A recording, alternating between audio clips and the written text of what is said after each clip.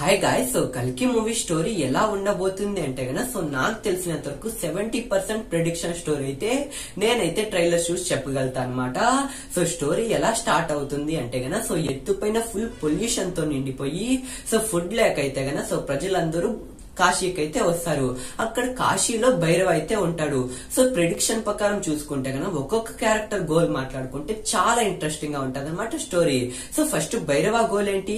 Bhairava one million units సంపాదించాలి complex వెళ్ళాలి. And Ashwatthama goal ఏంటి?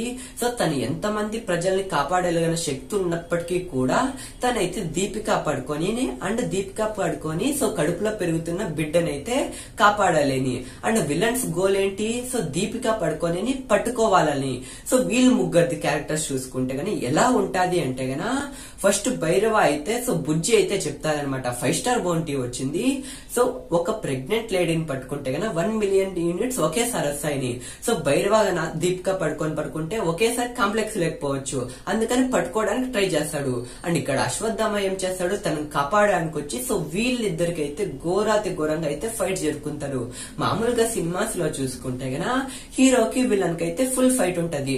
బట్ కానీ ఫర్ ఎ చేంజ్ ఇద్దరికి ముఖ్యమైన వ్యక్తులకి మంచి వ్యక్తులకే ఫైట్ అయితే జరుగుతుంది అనమాట మీరు ఈ ఫోటోలో చూసుకోవచ్చు అశ్వత్థామ గారు అయితే సో ట్వెల్వ్ ఫీట్స్ అయితే హైట్ ఉంటారు. భైరవ పైన చెయ్యి వేసినప్పుడు గానీ అండ్ భైరవతో గొడవ పడుకున్నప్పుడు గానీ ఒకసారి హైట్ చూసుకోండి ట్వెల్వ్ ఫీట్స్ అయితే ఉంటాడనమాట వీళ్ళిద్దరి మధ్య అయితే ఫైట్ చాలా బాగుంటది.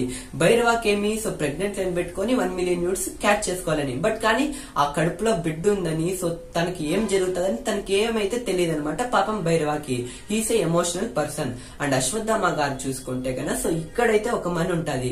ఆ మన అయితే ఫస్ట్లో అయితే ఉండదనమాట ఎప్పుడైతే శివుని గుడిలో సో వాటర్ అయితే ఆగిపోతుందో తనైతే ఒక లాకెట్ అయితే ఓపెన్ చేస్తాడు బాక్స్ అప్పుడైతే అది పెట్టుకొని అయితే సో దీపిక కడుపు పట్టుకొని అయితే కాపాడడానికి సేవ్ చేస్తాడనమాట దాని వల్ల సో ముఖ్యంగా చూసుకుంటే స్టోరీ అయితే ఇలా ఉంటదన్నమాట.